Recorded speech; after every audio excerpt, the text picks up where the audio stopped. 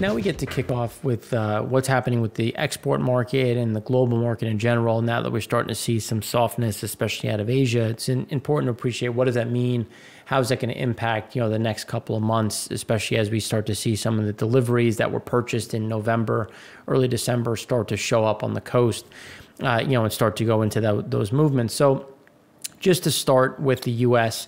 Uh, we, we did get a big uh, step up in distillate. You know, we were thinking the increase was going to be a bit smaller, but we, we were expecting a bit of an increase. Um, gasoline, pretty much steady as she goes, uh, up 133,000 barrels a day. You know, propane again is going to continue. That LPG side is going to remain robust. We're going to see that 133,000 barrels a day went through.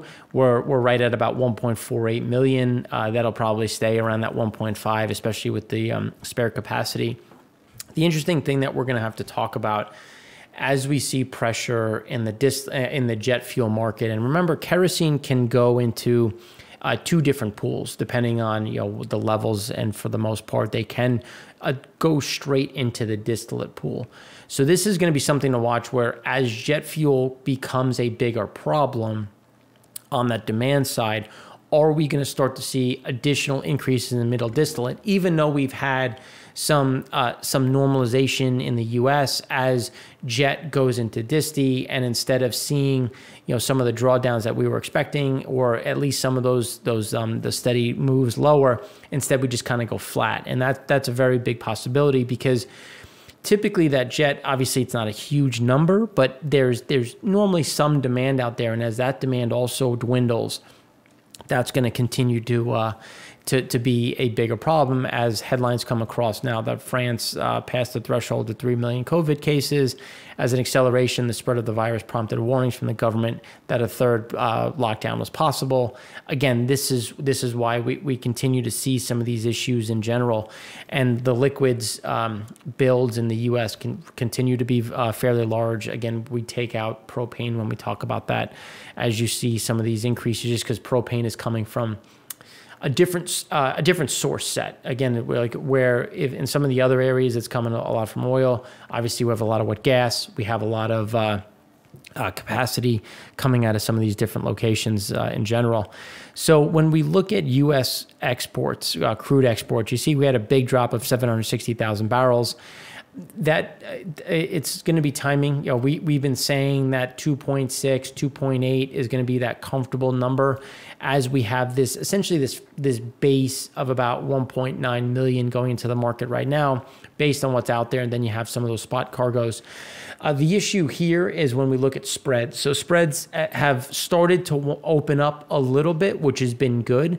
But again, the spreads opening up is going to be uh, problematic or is going to be good for getting exports out. But the tightness that we had in spreads is going to cause some of this strife in general, especially when we have uh, issues in uh, in in Asia for demand and what demand looks like going forward. So that's going to be a, a, big issue when we think of the the U.S. has been sending about let's call it about 900 900 to 980,000 barrels a day into Asia. And if that starts to go down, how much of that can be displaced as Europe goes into either extended lockdowns or further lockdowns? That's going to, you know, where does the U.S. crude go? Or as we hold the line at 11 million barrels a day, are we going to see a, additional crude going into storage because we just don't have a home in the refiner? or the export market. And as we go and look at you know those gasoline exports, our view was that it was going to it was going to hang above the the that that nine years or you know yeah nine year uh, average or so. We thought it was gonna it was gonna hold above that level, but really kind of follow through. Here you had a little bit of a, a bounce, but again holding above that five year average, uh, nine year average, which is where we think we're going to maintain, especially when we look at Latin America and where some of the movements are. The the pressure and the reason why we're not going to get this big spike is just there is a lot of cargo still coming out of Europe, still over uh, pr providing some sort of overhang when we consider kind of where this is going in general. And that's there's enough demand to keep us above the average, but again, the the, the demand is heating up in the international market. China is now pushing more uh, gasoline into the market, and that's going to accelerate through January. We saw a small dip in uh, India demand. We know South Korea, Japan has slowed in general. So as some of this Asian cargoes come come across, Middle East is going to get displaced. You know, we talked about how Saudi Arabia was starting to increase or start up one of their refiners. That's going to put more product into the market. Middle East then goes into Europe. Europe then goes into the and then Europe it doesn't have the demand. They've already started slowing down their purchases from the Middle East as they tried to balance. So again, that's going to put some pressure on, on our um, exports you know, this is one when we look at uh, distillate, we, we thought we were going to come back or just below that that nine that nine year average. We came and essentially kissed it. Uh, there's not much to say one way or the other. We think that this will fall back down, but it's not going to fall back below the cloud. We think it's just going to hang uh, essentially just below this um, uh, the nine year average and follow the trajectory. So the trajectory is going to be a little flattish. Uh, could see a, a, you know small move down just because again that timing delay. But this is going to be something to watch because I think distillate as we start to see jet you know losing demand, how much of that goes into the the uh, pool and then you know how much of that demand that is there in jet or kerosene gets started utilized as, as distillate and is going to put more pressure on our exports as we see uh, exports still coming out of Europe, Europe buying less from the Middle East, which means that the Middle East in general is going to have to find a new home, and that's going to start to compete with some of our uh, natural markets in Latin America. Now, when we look at uh, U.S. crude exports, you can see that we had a big drop still above the five year average as we should be, just given we have more assets to uh, to put stuff into the uh, market. This is gonna this is gonna bounce, but it, again, it's not gonna go back into all time uh, seasonally all, adjusted all time highs. It's just gonna be more of a a gradual move up, you know, back to that 2.6, 2.8 million barrels a day. Uh, LPG, again, the demand is robust. Uh, that's not changing. We're going to continue to see this flow into the market. Uh, Mont Belvieu pricing continues to be supportive, uh, even though it's elevated. It still uh, supports it moving into the market. Uh, this is why we're going to continue to, to stay well above the top of that range, and uh, and it, there's there's some timing in it, so this will drop. It's not like it's going to be just a perpetual move and then just go sideways. There will be some ebbs and flows, but it's definitely going to be at the top of the range going forward, which is going to be a net positive in general. Uh, but when we look at, at what's happening in the world today, so you can see from January into Feb, so uh, there's some some issues in Libya. Libya has cut uh, a couple hundred thousand, uh, I think it's about 200,000 barrels has been taken down on a production level as they're working on some pipelines. You know, they're looking to find investment to help rebuild and repair large parts of their um, uh, pipeline uh, system. Again, even though they're reducing production, they have been able to to put some additional crude into storage. So even though production is down, they can still maintain exports uh, around that 1.1, you know, 1.2 within you know within that range for the most part. Russia is going to continue to shift higher. Uh, Norway again is at that 1.7, uh, you know, that 10-year high when we look back in time. Nigeria has been having some problems, and um, they they had some force majeures but we're also seeing some kick out from January into February, which is why we're getting that that pretty sizable uh, snap up from one point, let's call it 1.46 to that 1.7 as we're getting some of those those cargoes getting shifted over. Uh, Angola is has been a pretty steady decline, uh, and it's just because again China is is the is where Angola settles a lot of their crude uh, you know, a 60, a little bit above 60%. So Angola has yet to sell three to five cargoes of February loading. So they've yet to sell three to five of Feb, and Feb is is essentially the lowest number that they've had in the since 2008. So they they're exporting less. Their loading schedule is some of the lowest ever, but yet they still can't place crude. So uh, three to five cargoes of February loading out of 30, uh, 33 planned export shipments for the month. Pace of sales remains very slow, uh, slower than, and, and so January was slow. And this is slower than January, which is, you know, again, the inherent problem. But it drops from an unsold of seven to ten. So they they did they did see some, but remember they cut prices in the first week of Jan that helped move some through. But not only is Angola having an issue, about 15 to 20 Nigerian cargoes of the 51 scheduled for Feb loadings have yet to find a buyer. Sales remain very slow. So again, this is a problem. This is going to put more crude uh, because we did see a drawdown on uh, on some floating storage in, in West Africa. This is going to put more back on the water as they can't as they're struggling to place some of these crudes, which is why when we think about West Africa, Goldilocks type crude. You're talking about medium sweet, going back to segment one when we talk about that API. You know, some of this crude is is is sweet, which means that it's low in sulfur and has between you know let, let's let's call it 28 to you know 35 API.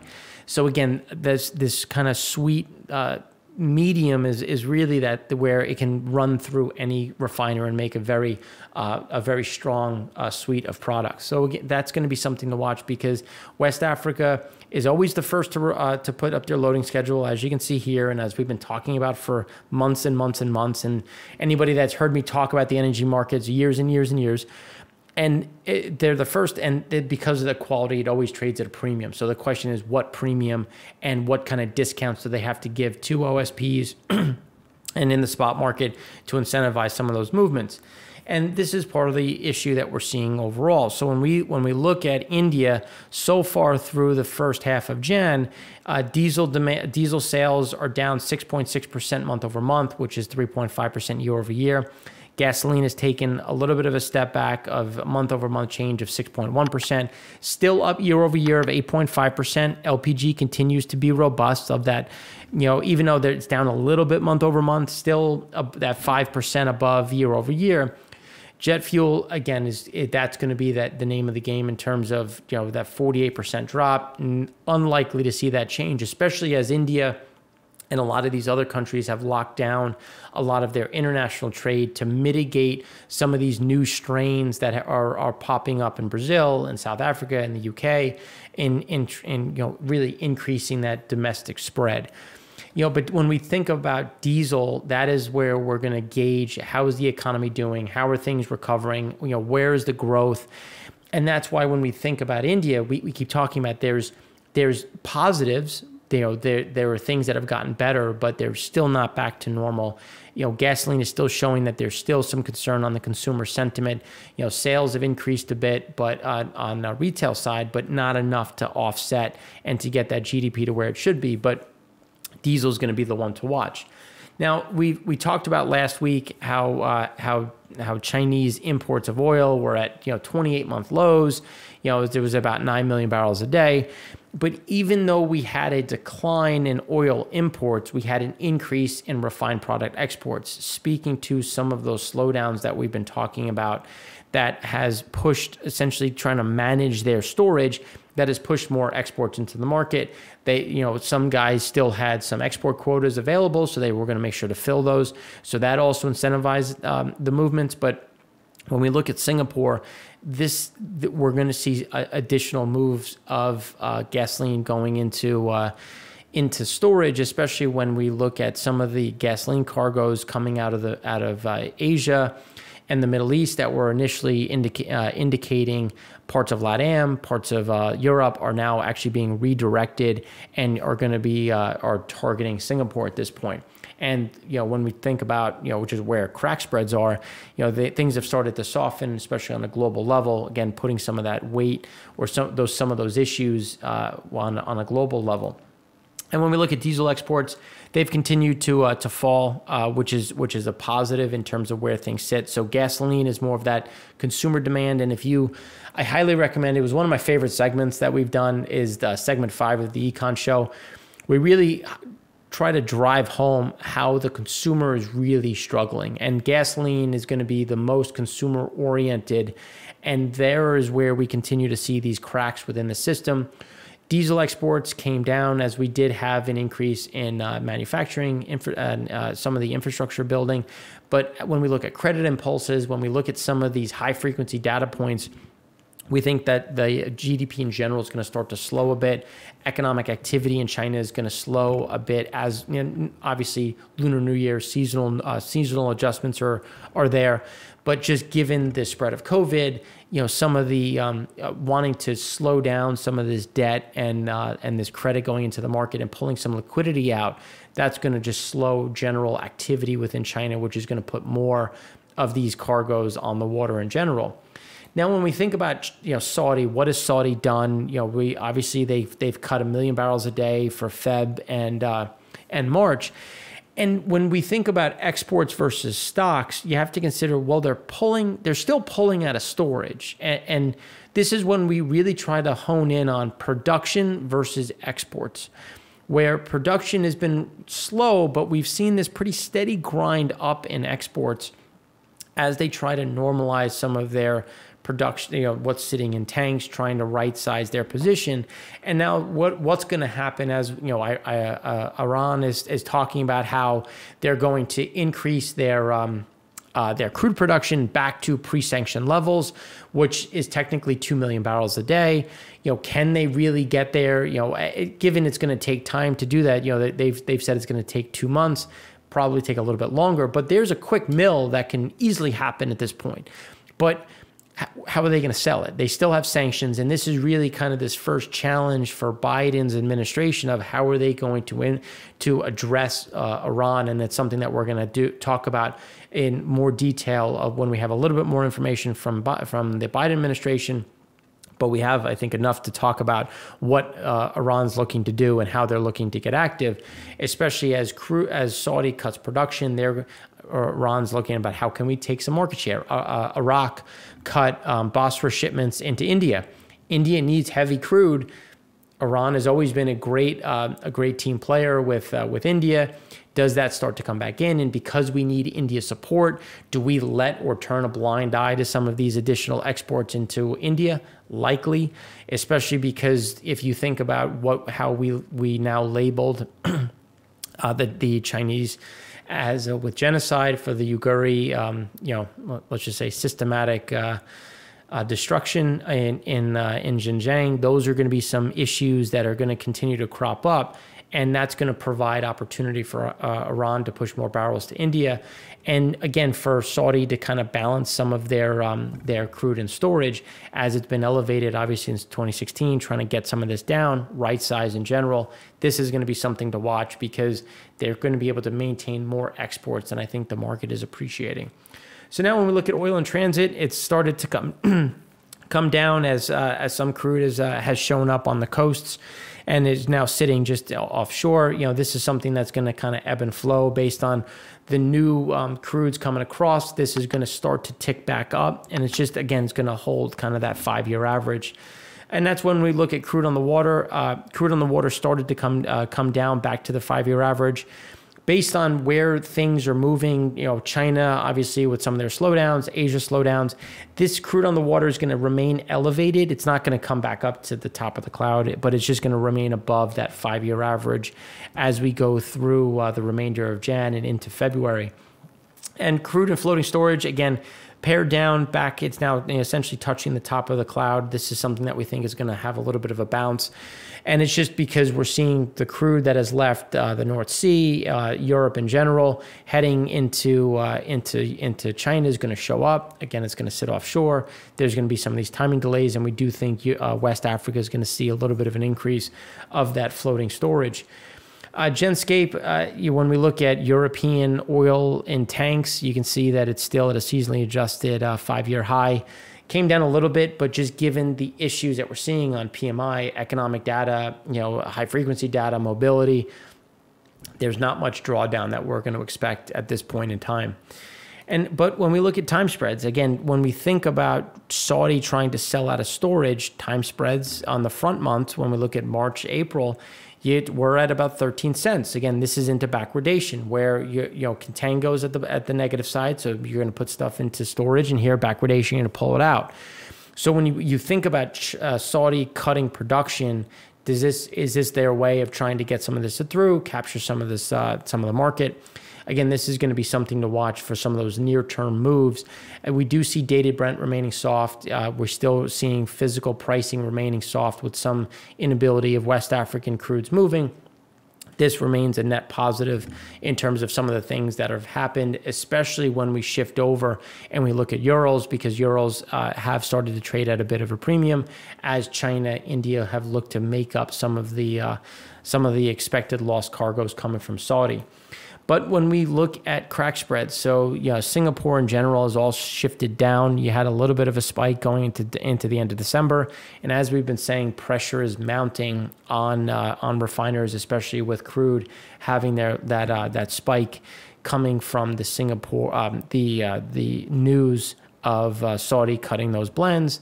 Uh, and then by doing that, again, shifting up the front the front months, making it more expensive for for refiners to buy, and because as we've been talking about, you know, demand remains weak on the back end. It's hard to push through price increases, and that's again uh, causing problems across the board. Now, uh, this is just pulling one out and just highlighting. You can see that when we look at Singapore, Dubai hydrocracking refinery margins, we're talking something at 51 cents. Again, bottom of the cloud of five-year average. We're we're talking about something that is is really going to go negative, especially with the lack of demand in in Asia, driven by China. Some of those exports increasing, you're going to see that push back on not only uh, margins but also uh, barrels in storage. Now, this is what we've been talking about with Urals. Urals had that nice price increase. But even with that price increase and that the lack of ability for the refiner to push through some of that demand, this is where we're seeing those margins come back under pressure.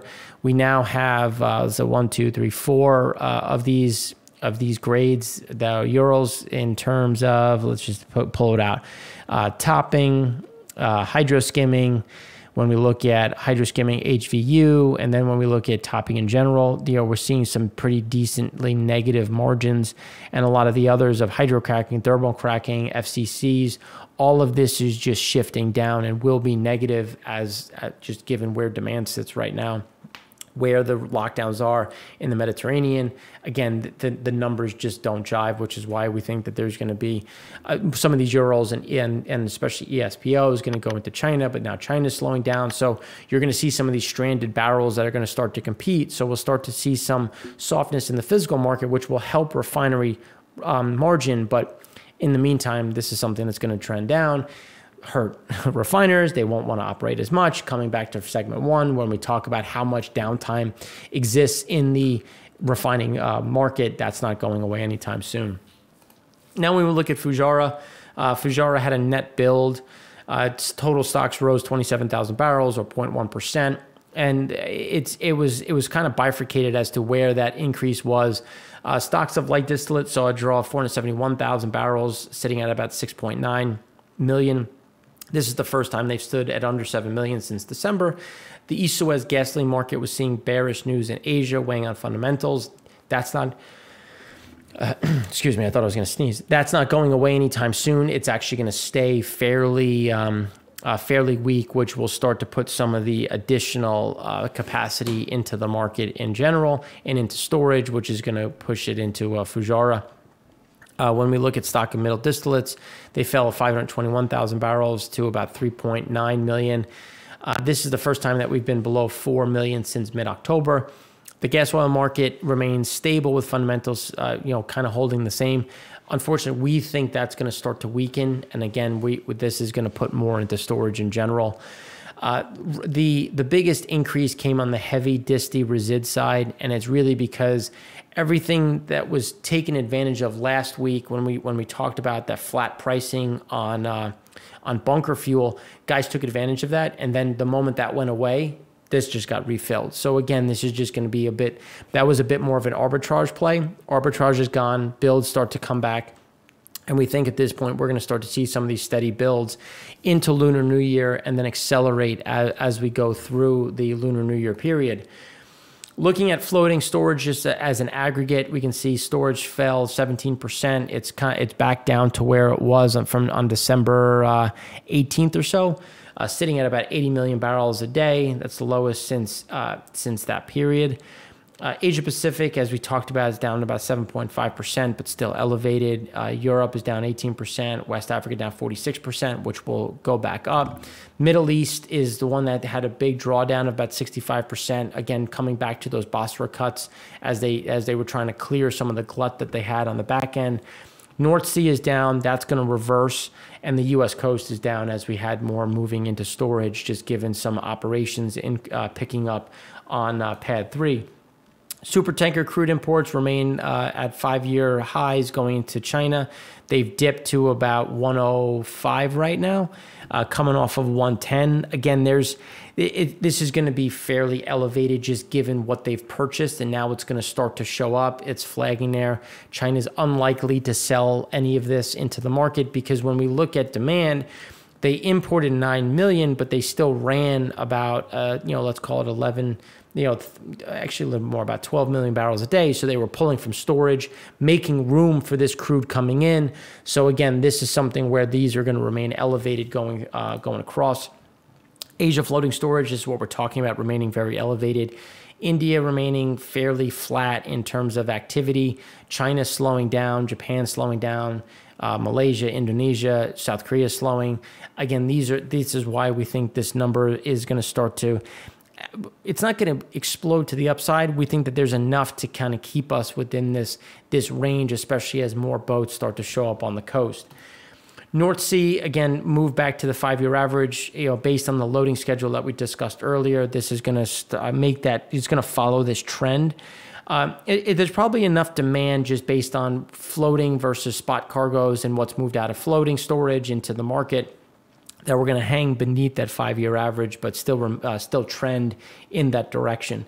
West Africa is the one that uh, had a big spike down, but uh, you know still above the five-year average. We think that this is going to have a spike up, you know, especially given the difficulties Angola and Nigeria have of selling Feb.